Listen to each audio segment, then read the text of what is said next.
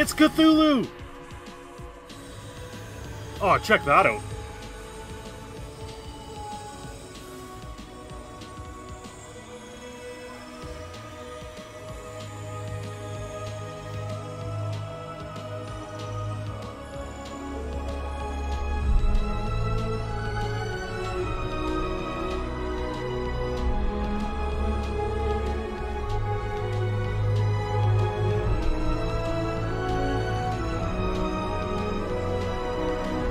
Cool. Planet Kittens, or I mean Kajas.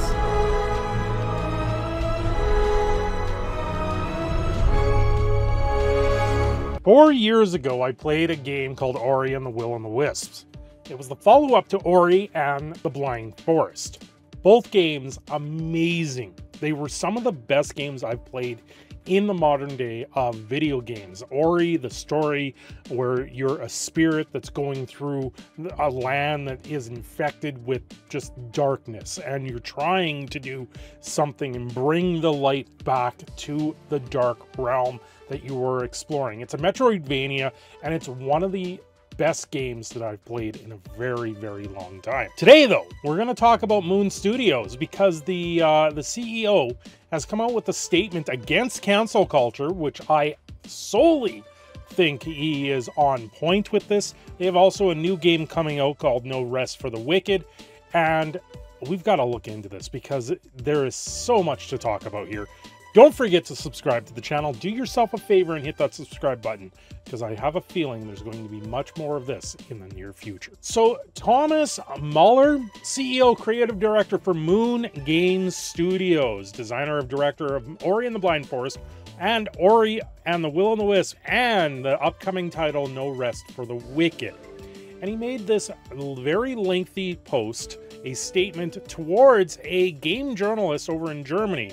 I already know I might get myself into trouble once again for posting this, but I just replied to Maurice Weber, 42, a game journalist who is a, affiliated with the German outlet GameStar. I do think it's especially important these days that we always remind ourselves to try and keep an open mind and try to understand even those who think differently than we do. Here's my response to him complaining about people who are apparently fed up by woke culture. I think it makes sense, Maurice. This base is basically a backlash against cancel culture and similar phenomenon everyone because everyone has had enough of that nonsense. It really is. It really is. Uh, a lot of people are they play the victim too much and crying wolf does not actually breed or does not actually do anything for the games industry. It just brings it so much further down. I suggest you take more nuanced view, especially since you position yourself as a journalist, yet you often display a narrow-minded attitude and don't seem to question what's actually going on. And that is something we would expect from a journalist. Just because you personally haven't been affected by cancel culture doesn't mean there isn't there hasn't been a lot of foolishness happenings and it's still ongoing. And it's only a matter of time before it impacts you too.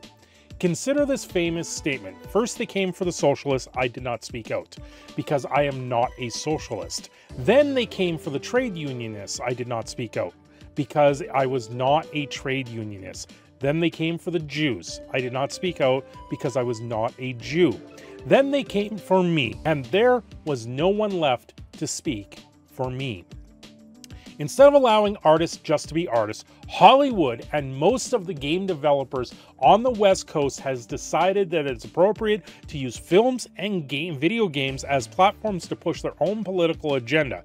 If you argue otherwise, I would expect a journalist like you to back it up with thorough research.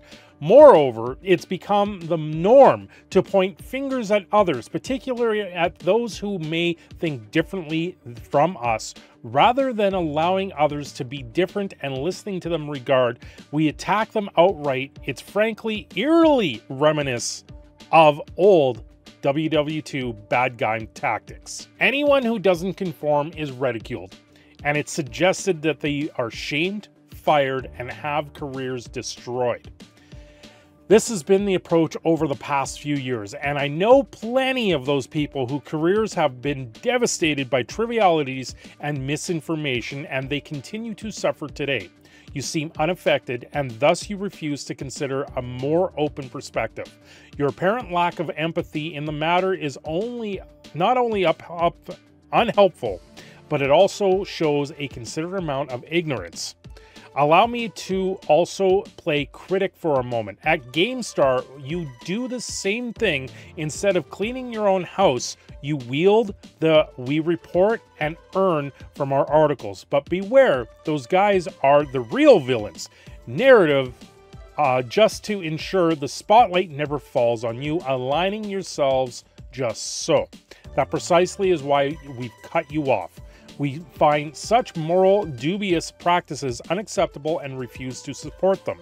You lack the initiative to conduct your own journalistic investigations, as it seems too much work when the next clickbait article is due the next day. The sad thing is that young journalists like yourself never knew anything else. The more outrage you generate, the more clicks you get, and that's how you make a living at the expense of others, which apparently doesn't matter as long as you're seen as the good guys. I hope in the future you will approach the world with some with more skepticism and openness and truly consider both sides instead of aligning yourself with one to amplify their propaganda. It is deeply, deeply important that everything that happened over the past couple of years that we always question hidden agendas, always try to be loving and show understanding even to those we vehemently disagree with. Proper discourse is more important than ever. And journalists need to understand the responsibilities in all of this and start acting like journalists again. And this echoes exactly what is going on in the industry. This is absolutely important that this point gets put across. Thomas's response was to this particular game journalist that brings up some stuff going on in woke culture where you get you go onto steam and you see discussion and people are asking i heard this game is woke is it true and this is in in terms for hades 2 uh, the saddest part of modern gaming discourse with every new game, there has to be a discussion on Steam forum about whether it has evil wokeness. Here, about a brilliant masterpiece, Hades 2. He, he's claiming Hades 2 is a brilliant masterpiece. Guys, I saw a black guy uh, and a guy in a wheelchair. Need input. So, the guy in the wheelchair is a god that has a club foot. Um, but then we had articles saying that that was hotness in video games. People were saying that this is the type of sex appeal that should be there versus Stellar Blade. So this was a completely different argument and why people are asking if the game is woke. And it really does seem that the narrative design behind it is towards that woke DEI sort of situation that nobody wants, nobody's willing to have it anymore. And that is why we have Thomas here making these statements about cancel culture. You have people going out there, and if you don't agree with this type of thing, it, it, that if you want to stand up against these types of things, you get canceled. People will come out of the woodwork and suddenly brigade your, your employment, YouTube, everything else and say you are not allowed to say these bad things because we don't agree with you. No, there's discourse, and that and this is something I've said for a while. Discourse needs to happen. Let's challenge the ideas. We're not going to challenge the people saying these things, but challenge the ideas. Have a discussion.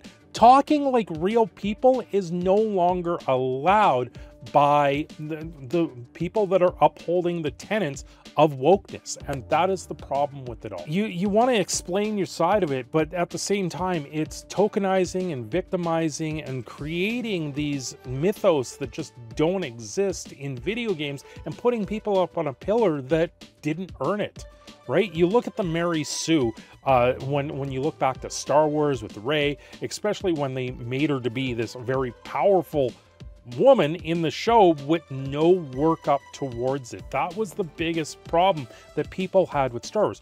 No one has a problem that Rey was a powerful Jedi. But what we want is a story that actually leads up to her actually earning that place in Jedi history. Anyway, when it comes down to it, thanks for watching. Don't forget to like and subscribe. I'm your proud Canadian Phoenix Cinder Shadow. I'm signing off here, and I will see you again very soon.